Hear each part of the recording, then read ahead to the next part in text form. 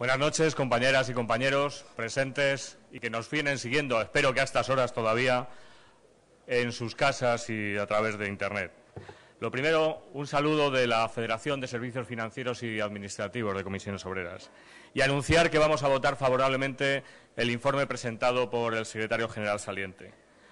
Y vamos a votar a favor porque reivindicamos la inteligencia, la inteligencia colectiva de este sindicato que es capaz y ha sido capaz de integrar personas, ideas y propuestas y que ha reforzado la cohesión y la unidad con la que nos presentamos en este, este Congreso Confederal. La misma inteligencia que ahora decimos que vamos a tener y que debemos exigirnos para acertar en el necesario ejercicio de la mejora de nuestra actuación. Nos debemos exigir lo mismo que exigimos a nuestras contrapartes y a nuestros contrarios. Transparencia, responsabilidad social, sostenibilidad, mejorar en el tratamiento homogéneo de los recursos, también de los recursos humanos, en estas reestructuraciones que estamos teniendo y que vamos a seguir teniendo internamente. Sensibilidad, la misma que debe haber en todas las organizaciones sometidas a este proceso también de reestructuración. Intentar con inteligencia evitar riesgos reputacionales y también financieros, pero sin renunciar a nuestras convicciones. En este punto me quiero detener en la formación para el empleo. Yo creo que tenemos que reivindicar el papel que hemos tenido en la formación para el empleo y, como estamos en el Congreso Confederal, reivindicar el papel del Foro Confederal. Reivindicarlo como motor de desarrollo de la acción sindical.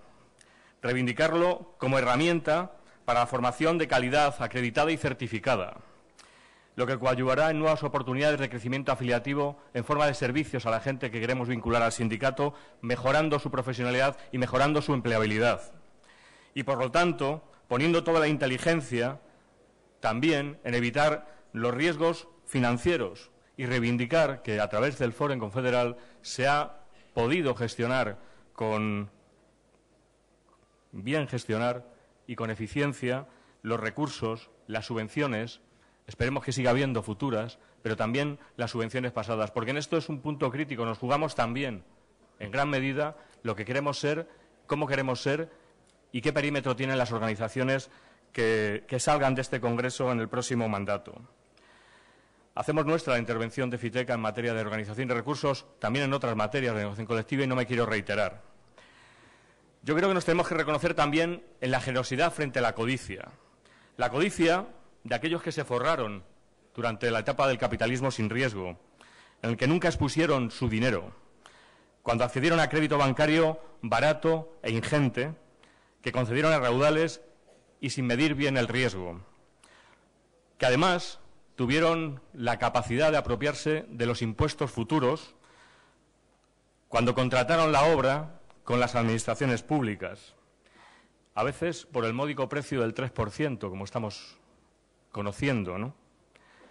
Recursos con los que se compraron, tanto recursos financieros como recursos en forma de impuestos futuros, se compraron a crédito las grandes empresas del país, como por ejemplo las eléctricas. Y cuando ese modelo ha quebrado y cuando se han quedado sin modelo de negocio privado, quieren además gestionar los servicios públicos. El ejemplo de yo construyo el hospital y de paso me quedo con la gestión.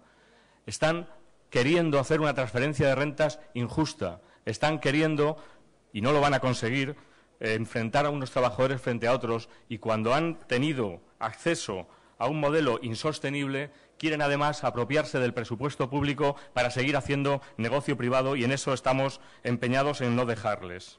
Frente a ellos, generosidad. La generosidad que este sindicato puso en primer término cuando fuimos los primeros, en el 2009, para que no digan, de ofrecer un pacto por el empleo y la cohesión social.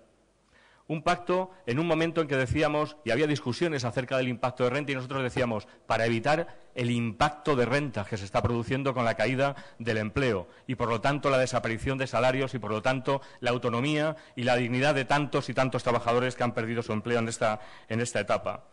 Generosidad que nosotros poníamos encima de la mesa y que algún otro rechazó hasta que finalmente tuvo que cambiar su, su nunca cambiaré, y entonces nos metieron en el laberinto en el que estamos metidos. El gobierno anterior y ha profundizado este. Reivindicar también la consecuencia. La consecuencia con nuestro ADN en la defensa del estado del bienestar y muy particularmente el sistema público de pensiones. Acuerdos todos, intergeneracionales, interterritoriales, que cosen los compromisos de verdad de los ciudadanos de este país. Y no nos engañemos, el valor de esta intervención en estos acuerdos es preservar el instrumento y nuestra participación en su gobierno, más que en los contenidos concretos, que siempre estarán sujetos unas veces a la coyuntura y otras veces también a las proyecciones biométricas, económicas o financieras. Se trata de que no nos echen del sistema y no nos van a dejar porque queremos seguir gobernándolo, en las mejores y en las peores circunstancias. Y, en general, la defensa de un sistema fiscal reconstruido, más justo, más eficiente, mayor, reconstituido moral y financieramente, sin fraude. A nadie se le escapa que cuando hay algunos que pagan en negro, es que hacen negocios en negro. Y hacen negocios en negro que no pueden declarar bien porque son ilegales o bien porque al no declararlos se convierten en ilegales o ambas cosas a la vez. Nosotros tenemos el coraje también de poner el dedo en la llaga y venirlo diciendo desde hace tiempo. Coraje como para defender y proponer una reestructuración del sistema financiero al servicio del país, al servicio de la circulación del crédito, en contra del oligopolio, en contra de la desaparición de la banca social, en contra de que los gestores salgan indemnes de, una gestión absolutamente irresponsable, a favor, por lo tanto, de las personas, en contra de que sean los ciudadanos los que paguen con recortes la capitalización del sistema, que sean los clientes los que paguen con desahucios y con la pérdida de sus ahorros la quiebra de las entidades, y en contra de que sean los trabajadores los que pierdan el empleo. Y, por lo tanto, hay que tener coraje, como ha tenido esta organización, para pedir la recapitalización del sistema financiero. Fuimos los primeros, antes que, antes que muchos, y gratis, que dijimos que se necesitaban 60.000 millones. Pero 60.000 millones para que circule el crédito, no para que se cree un oligopolio y se malvendan las entidades. Y nosotros en Confía, y espero que este Congreso defienda lo que ha dicho nuestro secretario general y lo que pone en las ponencias, la función pública de las entidades financieras. Y no nos perdamos en las nomenclaturas, no nos perdamos en los nombres, sino en lo que las cosas son. Y yo creo que la ponencia y lo que ha dicho el secretario general es precisamente lo que este sindicato tiene que defender hoy. También defendemos, defendemos el voto a favor de este informe por la determinación.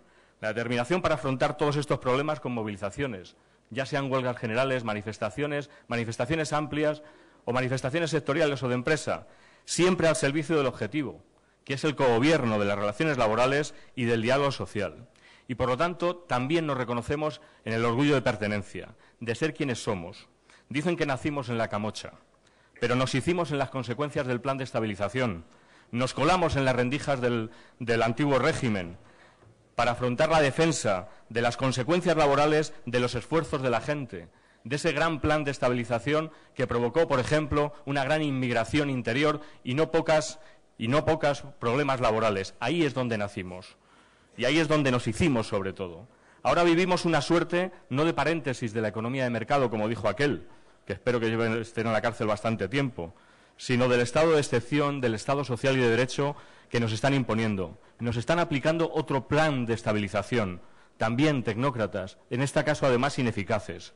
Y en ese entorno es en el que damos lo mejor de nosotros mismos, a ras de tierra, en la calle, en la sociedad, pero sobre todo en los centros de trabajo, sin resignarnos, en la negociación colectiva, a pesar de las reformas laborales. No son una maldición bíblica, podemos encararlas con nuestras herramientas, con los contenidos de los ANCs, desde la contractualidad sindical que son ley. Y en defensa del empleo lo primero. Se puede, claro que se puede. Como escribía Kim hace unos días, recientemente, ahí están los casos de la Nissan, de la reestructuración del sector financiero, del Convenio General de la Química, pero también la Renault, Vodafone y seguro que mañana Iberia y tantos otros seres y convenios que hoy tenemos bloqueados y peleados. Adelante, compañeros y compañeras, rigurosos para seguir siendo responsables, autónomos para seguir siendo libres, útiles para seguir siendo importantes y vivan las comisiones obreras.